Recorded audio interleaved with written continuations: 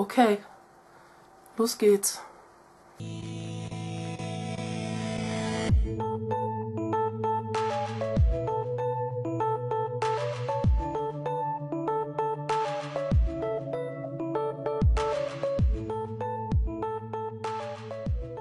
Hi. Ich bin nach langer Zeit endlich wieder da. So, und erstmal möchte ich mich vorstellen, bei denen, die mich noch nicht kennen. Mein Name ist Dunja. Ich bin 24 Jahre alt und ich wohne in Bremen. Und ich bin eigentlich schon seit Sommer 2010 bei den Nosy Rosies. Aber ähm, ich brauchte erstmal eine Auszeit, aber dazu komme ich gleich erstmal. Ähm, ja, ich bin gerade äh, unglaublich aufgeregt, weil ich habe schon ähm, so lange kein Video mehr gemacht. Und das heißt für mich ähm, erstmal wieder von Null anfangen. Ich bin noch irgendwie ein kleines bisschen zitterig gerade, obwohl ich nie, eigentlich nie Probleme vor Kameras hatte oder so, aber ich war, bin echt total aus der Übung und eventuelle ähm, Versprecher, Aussetzer müssen mir da wirklich entschuldigen. Ähm, ja, dazu bin ich noch erkältet, also ähm, nicht wundern, falls ich mich ein klein wenig wie Sven anhören sollte. Na, ist so ein Spaß, Sven. Das ist ein Spaß. Weißt du, ich hab dich lieb. Ähm, ja, ich war ein Jahr nicht dabei. Oh, ich weiß die Knie. ähm, ich war ähm, knapp ein Jahr nicht mehr dabei. Ich brauchte diese Auszeit für mich einfach, weil ich steckte ähm, in der Zeit einfach in einer ähm, persönlichen Krise auch. Und ähm, ich hatte gar nicht die Lust, ehrlich gesagt, irgendwie irgendwelche Videos zu machen. Ähm, klar, Zeit hätte ich auch unter anderem gehabt, aber ähm, wenn ich irgendwas hingeklatscht hätte, worauf ich gar keinen Bock habe, äh, damit hätte ich euch keinen Gefallen getan und damit hätte ich äh, mir auch keinen Gefallen getan. Dann möchte ich mich erstmal noch bei allen Nosy Rosies bedanken für ihre Geduld und für ihre Unterstützung auch. Ähm, die haben mich zu der Zeit halt auch begleitet und die ich, ich war auch im Überlegen, komplett auszusteigen, einfach weil ich diesen ähm, Hänger hatte. Aber sie haben zu mir immer gesagt, nein, Dunja, mach einfach weiter. Und ähm, im Grunde war ich nie ganz weg gewesen.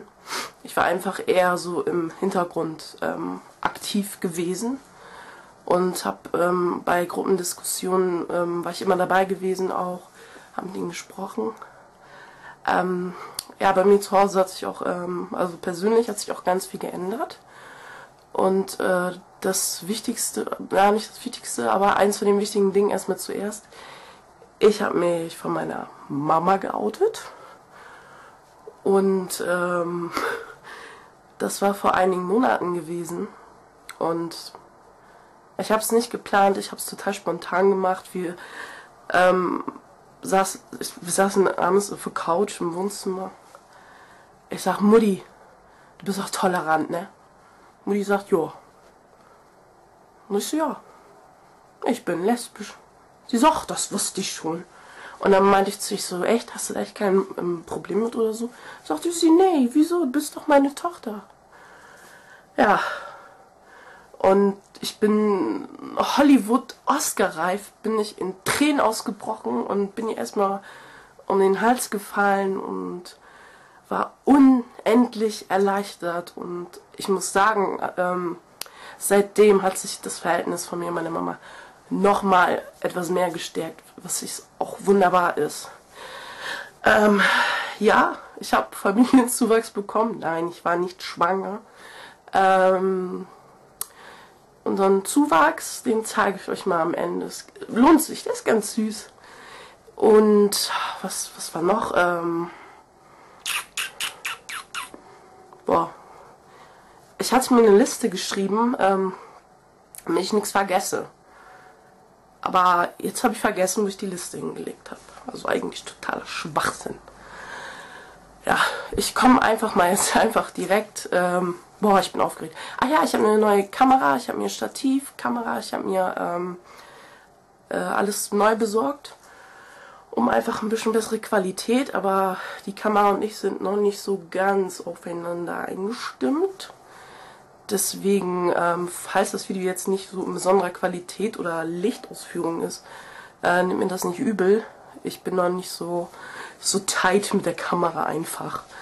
Ja, zum Wochenthema, ähm, äh, äh, zum Wochenthema haben wir das ähm, Verlieben in das andere Geschlecht äh, ist mir noch nie passiert. Kann ich gleich sagen, ist mir noch nicht passiert.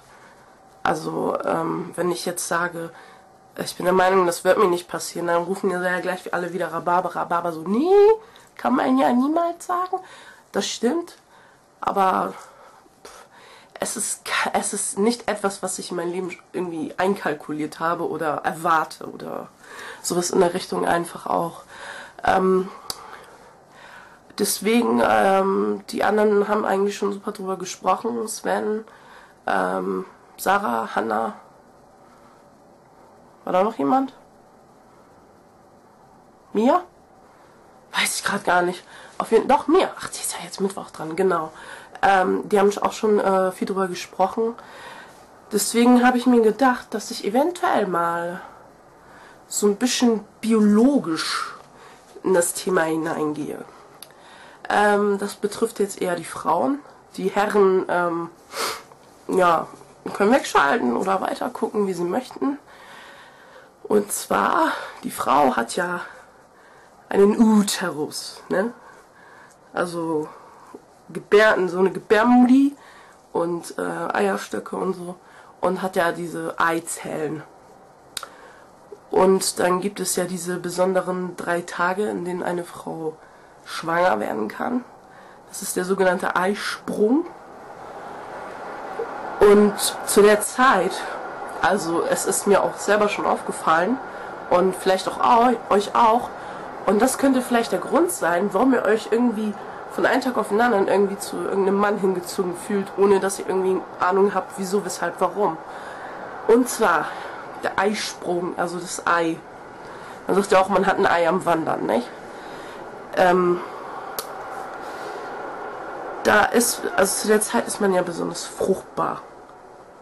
Und jedes Geschlecht hat seine eigenen, äh, hier gibt es ja Testosteron und Östrogene, aber ähm, diese, diese, diese, diese Eizelle reagiert sozusagen auf das Testosteron eines Herren, die euch, äh, der eventuell in eurer unmittelbaren Nähe ist. Also wenn ihr das Gefühl habt, ihr seid irgendwie äh, körperlich, wirklich nur körperlich erregt, ohne auch nur irgendwie einen Gedanken gehabt zu haben, dann seid nicht gleich geschockt oder fallt aus allen Wolken. Oh, schwitze. Äh, fallt nicht aus allen Wolken. Es kann euer Eisprung sein. Und ja, alles andere haben die anderen schon gesagt. Und meine Stimme verabschiedet sich langsam. So, meine Stimme ist wieder einigermaßen da. Was ich dazu, ja, mehr kann ich dem Thema nicht sagen. Ja, verliebt sich in Menschen, nicht in Geschlecht, bla bla bla. Kennen wir ja schon. Ähm, ja, dann würde ich mal sagen, mein Comeback noch etwas stotterig, tatterig, aber ihr kennt mich ja, es wird sich ja schnell wieder ändern. Also dann, dann fließt alles wieder wie, wie Flitzekacke, wisst ihr ja. Und ja, ich werde auch versuchen, so oft wie möglich zu posten. Also wir sind im dreiwöchigen Wechsel. Ähm, Jen ist noch in Dublin und ähm, Laura wird äh, demnächst auch erstmal ähm, außer Lande sein. Und ähm, Wochenenden habe ich ja relativ Zeit, deswegen finde ich es auch gut, dass es jetzt am Sonntag ist. Sonntag ist meiner Meinung nach sowieso mein Scheißtag, schon als Kind gehasst. Dann ähm, müsste es gut gehen am Sonntag. Ja. Dann verabschiede ich mich schon mal von euch. Ähm, Wenn es gefallen hat, kann gerne einen Daumen hoch geben. Wenn nicht, dann gebt mir einen Daumen runter. Oder irgendwas, ist mir eigentlich wurscht. Ähm, schreibt mir Kommentare, über das Thema, ob ihr, ja genau, ob ihr das mit den, was ich euch erklärt habe, mit diesem Eisprung. Ich muss jetzt nicht wirklich erklären, was, wie das funktioniert. Ich meine, ihr hattet alle Unterricht und Bravos und bla bla. Peter Ida, Minimum, dieses Buch, wer das vielleicht kennt. So wie versprochen zeige ich euch Familienzuwachs. Ähm, er gehört eigentlich meinem kleinen Bruder. Ja, das heißt klein, er wird auch schon 19. Aber er hat sich ihn halt, äh, aber ich habe mich auch sofort in ihn verliebt, total süß hier. Das ist Diego. Kann man ihn sehen? Ja. Ist er nicht süß? Er ist ein, äh, Schatzi, was machst du da? Er ist ein, ähm, Zwerghamster. Roborowski, ähm. Und äh, ist die kleinste Hamsterrasse der Welt. Also die sind in Asien vertreten. Oder in deutschen Zuhandlungen. Und, äh, sind eigentlich mega putzig. Also ich finde ich find die total niedlich. Ist ja nicht süß. Guck mal. Oh. Diego Baby. Ja. Ja, ist eigentlich äh, eine Mischung aus einem Hamster und einem Maus. Ja gut, so viel zu, zu dem Familienzuwachs. Ich wünsche euch was, ihr Lieben. Danke, dass ihr zugeschaut habt. Und äh, freut euch aufs nächste Mal. Wird besser. Wird, ich muss erstmal ein bisschen reinkommen, so, ne? Das ist wie mit einem Fahrradfahren. Wenn ich lange kein Fahrrad gefahren bin und dann erstmal wieder auf den Sattel steige, dann eier ich auch rum. Wie, als wenn ich gerade meine Stützräder abgekriegt hätte. So, dann macht's gut, ihr Lieben. Bis dann, eure Duni. Ciao.